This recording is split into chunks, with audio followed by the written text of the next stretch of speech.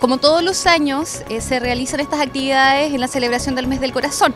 Ya nosotros como universidad somos miembro de la mesa regional cardiovascular en la cual se mm, asisten diferentes instituciones y dentro de esto eh, las actividades que se desarrollan en este mes son variadas y dentro de eso está la actividad esta que en la cual estamos participando. Tenemos contemplado hacer evaluación del estado nutricional y hacer educación en la comunidad para cuidar la salud cardiovascular, porque como sabemos y es una realidad latente en nuestro país, el problema de las enfermedades cardiovasculares es eh, una de las principales causas de muerte de, nuestro, eh, de nuestra población chilena.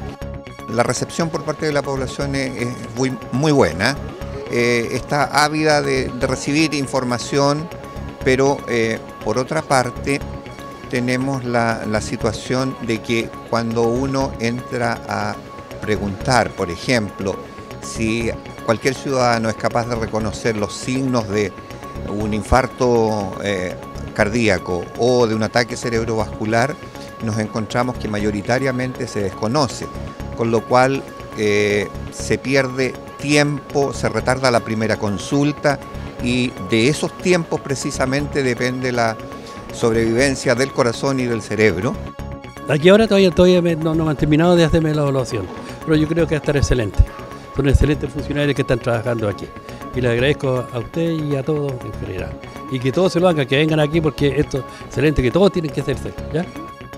Esta es la tercera oportunidad que se realiza esta Feria de la Salud y creo que año tras año ya los chillanejos eh, eh, comprenden y entienden, eh, la persona en forma espontánea quieren controlarse desde el que comenzamos a las 9 y media, 10 de la mañana.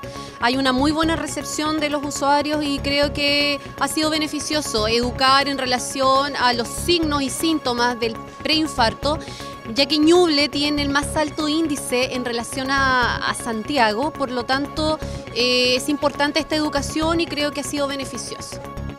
Y gracias a esto nosotros sabemos lo que tenemos. Eh, a mí particularmente me encontraron casi todo, me encontraron todo malo, pero al final sabemos las enfermedades que tenemos y así podemos ir con nuestros papeles que nos dieron. Podemos ir con eso ya gratuitamente sabiendo que nos tienen que controlar por, por obligatoriamente los consultorios porque por las enfermedades nos tienen que dar nuestros medicamentos para empezar a trabajar mejor.